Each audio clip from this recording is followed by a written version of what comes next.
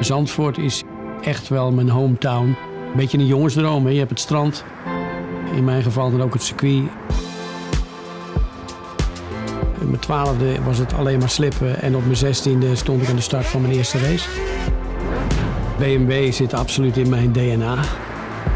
In 1980 heb ik een fantastisch jaar gehad. Dat was met de BMW M1 Procar serie. Dus dat was geweldig. Om gewoon met zo'n prachtige auto door Monaco te mogen racen. Dat was natuurlijk fantastisch. Als coureur, eens coureur, ben je altijd een coureur natuurlijk. Maar vooral als je voorbij Arnhem natuurlijk de grens overgaat en je mag even, dan is het natuurlijk heerlijk. En nu bijvoorbeeld ook met de iX3. Die dynamiek die sprak me aan. Het is ongelooflijk als je ziet wat voor ontwikkelingen doorgemaakt zijn. En hoe comfortabel, veilig en hard je dan kan rijden.